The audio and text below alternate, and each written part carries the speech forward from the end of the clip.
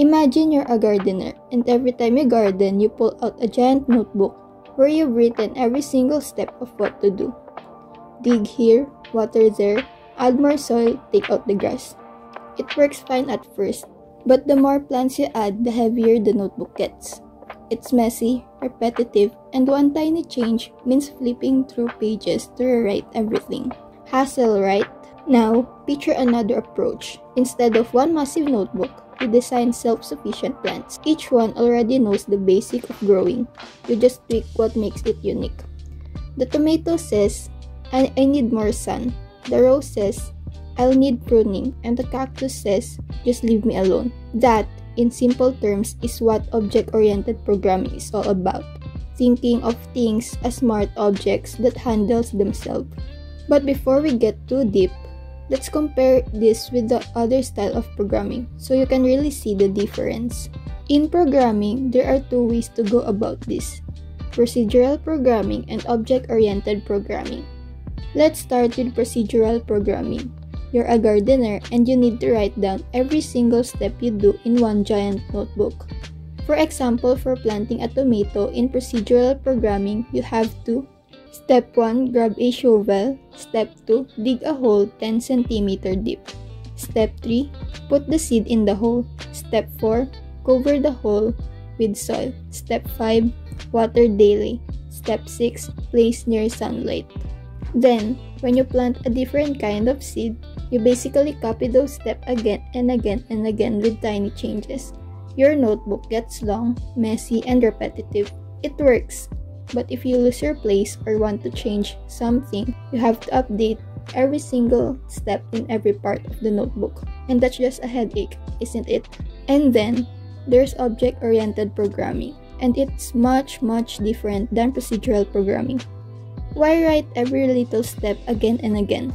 Let's think of plants as objects. In your OOP garden, you create a plant blueprint, like a recipe for plants. It knows how to grow, how much water it needs, and what type of soil it prefers. Here is an example of the plant class in code.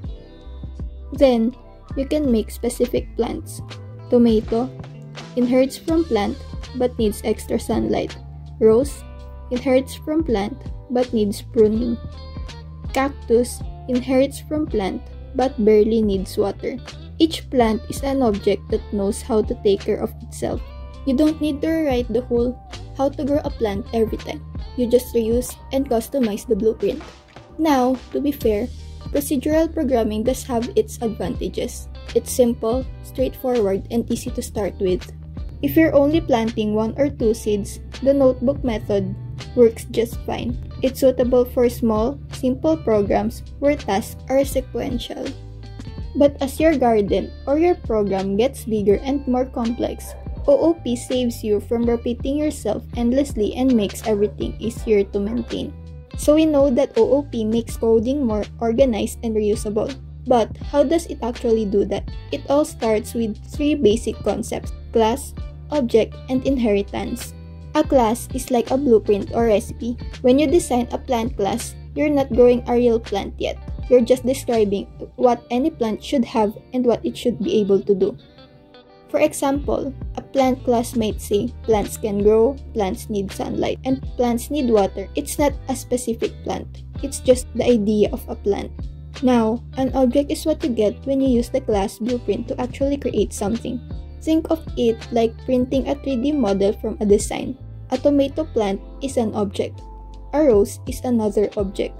A cactus is also an object. All of them come from the plant class, but once they exist, they are real things in your garden with their own characteristics.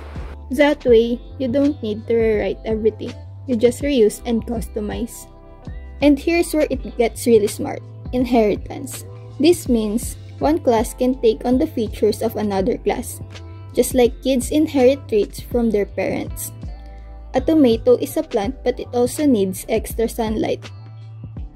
A rose is a plant but it also needs pruning.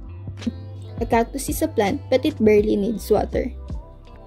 They all share the basics from the plant class, but each adds its own twist. That way, you don't rewrite everything. You just reuse and customize. So to plant it all together, Procedural programming is like keeping a giant notebook where you copy every single step of gardening over and over. It works for small things, but as your garden grows, that notebook gets overwhelming. Object oriented programming, on the other hand, is like creating blueprints for your plants. You grow specific plants from those blueprints, and thanks to inheritance, each plant knows how to handle itself. So OOP saves time by letting you reuse code, keep things organized and tidy, and it lets you focus on the bigger picture instead of repeating tiny details.